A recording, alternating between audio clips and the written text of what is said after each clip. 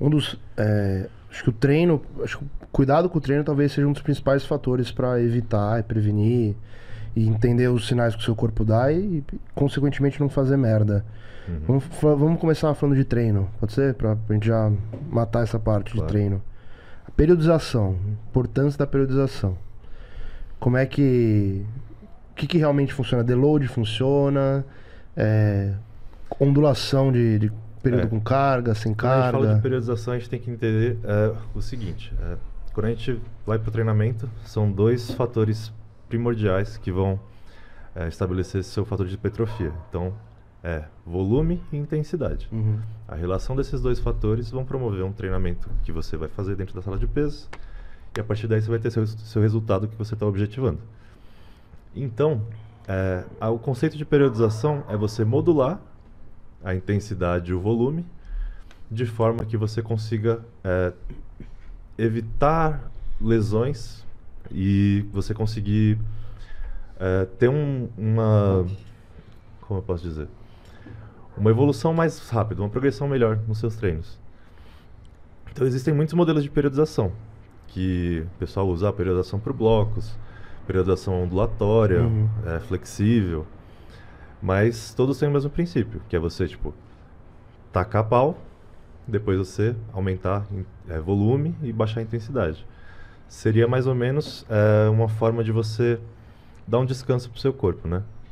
Mas nem sempre isso é o suficiente para você e nem todos os modelos de periodização se enquadram para todas as pessoas.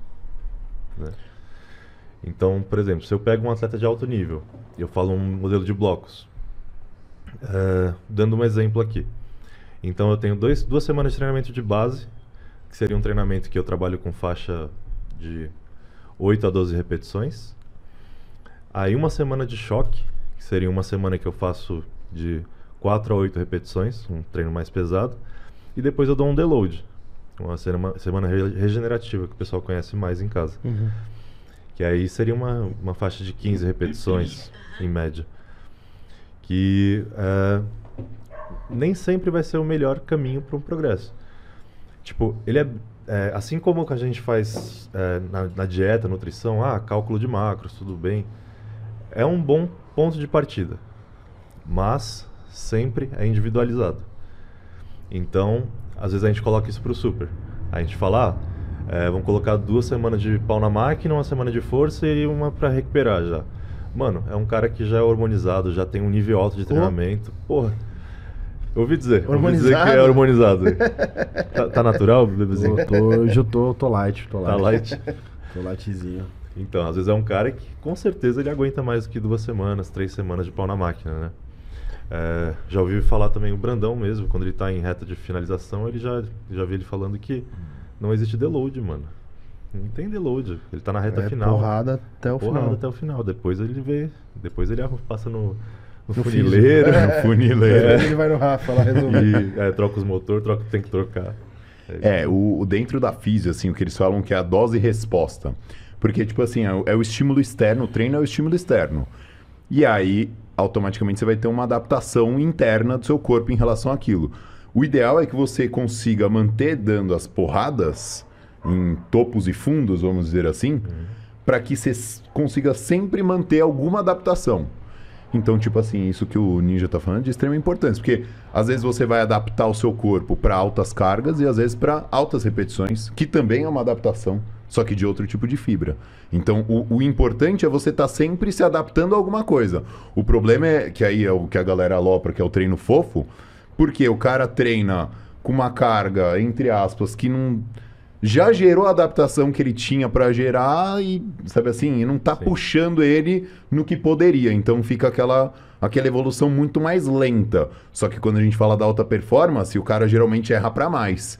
Que é quando ele quer conseguir, vamos dizer que tem um, um topo disso aqui para poder adaptar, ele quer adaptar sempre no limite. Só que também entra uma paranoia disso, de querer estar espancando o tempo inteiro sempre, só para garantir que tá adaptando.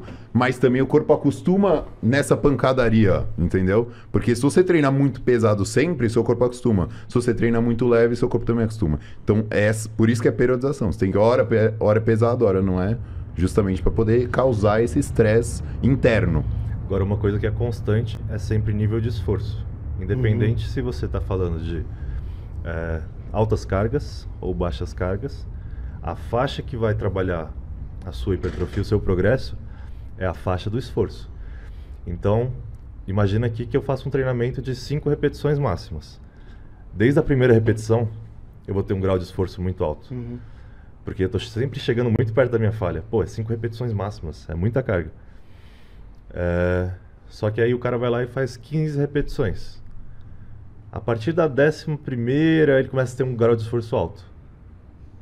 Mas aí ele tem que continuar, fazer até próximo da falha. Então, o importante é sempre grau de esforço, o grau de esforço é próximo da falha. O problema é que muita gente não sabe o que é a falha muscular também, Sim. né? Então, às vezes a gente faz é, 15 repetições, um cara que faria 17, mas ele nunca teve alguém para auxiliar, é, nunca teve um- uma experiência boa que tipo, conseguiu mostrar para ele, ó, isso não é o seu máximo, isso é o seu máximo, entendeu? Você conseguia fazer 17, dá pra gente progredir em carga, entende? É. Mas, por exemplo, eu fico pensando assim, o cara não tem dinheiro pra um coach, ninguém montou o treino dele, ou ele entende bem o básico. Como é que ele entende assim, puta, tá na hora de fazer o deload? O corpo Então, fala. aí ele tem que ter humildade. Aí é Humildade. que entra a humildade. Qual que é a Porque humildade? o cara, é, por mais, vamos falar assim, ó, por mais que o cara não, não saiba o que ele vive, o nível né, de treino, mas qualquer personal que ele chegava na academia e perguntar, alguma coisa ele vai conseguir extrair, você entendeu? Então, assim, por mais que às vezes não seja o nível, mas tipo assim, o cara vai conseguir entregar algum conteúdo pra ele ali que ele consiga, você entendeu? Ó, fulano, o que, que você sabe disso, disso? Ó, tô treinando assim, assim, assado, entendeu? Porque aí o cara questionando, perguntando, que é o lance da humildade, de falar, pô, eu não sei, eu preciso de alguém que me ajude que seja da área, aí o cara vai ter alguma, algum acréscimo de conteúdo pra ele, pra ele poder começar a entender. Porque, de fato, se ele for pesquisar na internet, ele vai começar a cair num conteúdo tão técnico Sim. que, tipo assim, é, eu não consigo me ver sendo de uma área aleatória, assim, e conseguir entender esse nível de periodização nesse sentido, entendeu? A resposta mais genérica que a gente fala é quando você se sentir cansado. Só Mas que isso é às- multifatorial às vezes, também, é, né? Às vezes você tá É. sempre cansado, você não quer treinar, tá ligado? É, tem muita gente que, tipo, espera, é, não tem aquele... é, aquela expectativa do dia, tipo, pô, hoje eu vou pra academia tal. Às vezes a pessoa vai com um grau de esforço grande, sabe? Se esforça pra ir treinar. E é, muitas vezes é, acaba se passando a preguiça acaba se passando por cansaço. A falta de vontade a falta de motivação se passa pelo cansaço. É. então tipo como que a gente faz uma medição mais séria assim? Geralmente o que a gente, que a gente analisa? O, o trabalho que está sendo feito em sala de pesos né? Você não consegue fazer mais progressão de carga. Você não consegue fazer progressão em número de repetições você estagnou Hum. não em um exercício, mas em múltiplos exercícios, tá? Dor articular também é um fator um pouco mais além, né? Que é o que você tinha que ter visto antes, É. chegar na dor articular. É, Mas quando você começa a ter essa dificuldade generalizada nos exercícios de progressão, muito provavelmente seu sistema nervoso Já tá na hora de Já você tá fazer. bem cansado. Já tá é, o feito. problema é... Então, o problema é que eu bato nessa tecla aí com a galera, que é de tentar não chegar nisso. Porque essa daí já é a ponto, fase 2 do overuse, né? Se for Ah. pensar. A fase inicial é quando a pessoa tem uma perda de rendimento meio temporária. Então, entra nisso que o Ninja falou. Putz, hoje eu tô meio quebrado pra treinar. Ah, mas eu vou mesmo assim. Beleza, ah, eu sou dedicado, né? Entra também um pouco nessa confusão mental. disciplina tem que É, bodybuild tem que sofrer, entendeu? É. Né? Então, assim, a, a fase inicial do overuse é essa daí. Você, dias e semanas ali iniciais, você já começa a sentir que né, tem uma perda ali leve da performance. Só que quando chega nesse nível que o Ninja falou, de estagnar, você fala, puta, eu pego sempre a mesma carga, não chego com força pra treinar. Com certeza você já passou da hora de fazer um deload faz tempo, entendeu?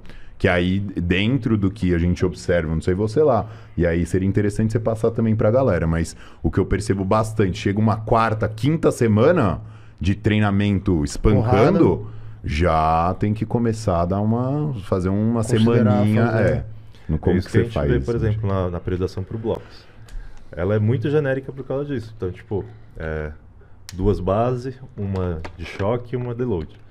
Então é o que a gente consegue ver. Pô, às vezes o super aguenta mais. Mas eu sempre vou dar o deload naquele mesmo tempo porque eu sei que é garantido. Sim. Ele vai se recuperar.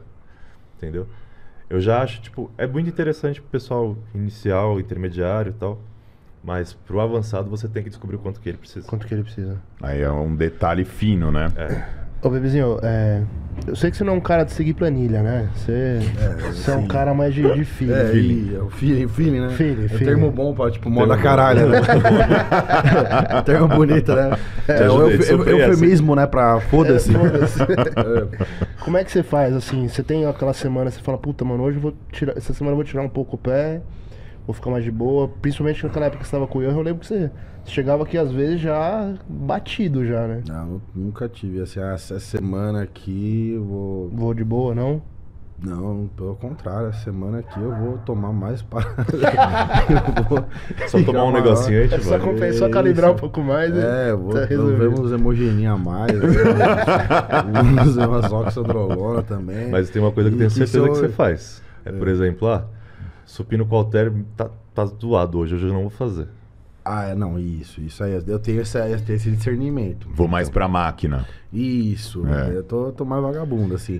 Mas aí. É, aí porque aí os sinais de, de sistema nervoso já começam a Ah, mostrar. não, é. é que é isso, né, brother? Que você olha pro altar de 70, você fala, porra, mano, pro meu peito pegar tem que ter no mínimo 70 quilos, 80 quilos. Eu falo, pô, você vai manobrar essa porra aí pro meu ombro, pra fuder meu ombro, mano, é foda, tá ligado? Hoje tem lá ah, os articulados pra ir treinar de boa, entendeu? Então, é, acaba ficando vagabundo. Isso a gente observa muito. É, de Mas- certa forma, uma forma de periodizar. cara. É, mas uma rotação. assim. Aí que tá, né? Mas a gente começa a trombar uns caras que nem você, que nem o Vitaly, que nem o Chris, que nem os caras que, porra, gostam de pegar o ferro mesmo, old school. Aí você fala, porra, tem que honrar meu nome, né, mano? Aí, acompanhar. aí assim, porra, aí é bom que é bom, cara, treinar com você sempre que, porra, sempre se leva a mais. Então, tipo, porra, eu vou lá fazer o alter, já vou me preparar umas duas semaninhas antes, já começo a pegar um alter. Aí já vou calibrado também, entendeu? Mas é natural isso daí. Hoje, pra mim, tipo, É, ah, eu- preferi máquina, porque assim, mano, até você pegar um alter daquele, até você montar uma barra de supino, fudeu, mano. Também a, Isso a- é muita coisa que a gente vê também. O pessoal do old school todo tem esse, esse feeling, né? A parte empírica, né? Você faz o bagulho, você vai sentindo. Você sabe que não é o dia de você fazer um agachamento livre. Você sabe que não é o dia. Por mais que esteja na planilha, né? Às vezes você, tipo, pô, mesmo que eu esteja forte, esteja Sim. de boa, tal, hoje não é dia. Não é dia. Não é dia. Tem, realmente. E eu sempre falo pros meus alunos, por exemplo. é- Ah, é mas, nem- aí, mas aí que tá. Mas é você, mano. Porque se depender da galera, tipo, se o cara falar assim, ah, hoje não é dia, nunca, nunca vai ser o dia pra agachar, mano. Sim, mas essa que é a diferença do você tá, confundir preguiça com cansaço. Ah, exatamente. Entendeu? Entende? É por isso que eu tô falando, tipo, direcionado pros avançados. Quem, Uhum. quem tá ligado que tipo, vai fazer o negócio de qualquer forma. Entende? Quem já tem com a disciplina na cabeça. É, mas, por exemplo, ah, é, hoje não é dia de fazer tal coisa. É que nem a dieta. O aluno fala, pô, Ninja, foi aniversário do, do meu pai e tal. Mano, eu posso jantar com eles? Tipo, mano, você não tá em preparação, você não tá. Lógico que você vai jantar. Não vai mudar o plano. Sabe? Pô, Ninja, hoje eu não tava me sentindo bem e tal, fazer supino, mas aí eu fui fazer. Por quê? Sabe? Tipo, não vai mudar o plano você não fazer supino hoje. Sabe? É claro, é, mantendo a ordem dos exercícios, né? Tipo, ah, não vou fazer supino, vou trocar pelo leg press. Não, beleza. Mas você faz, tipo, pô, um supino máquina, algum de pressão, algo similar. Entende? Só substitui o press ali, né? Isso, substitui o exercício, muda, muda uma angulação,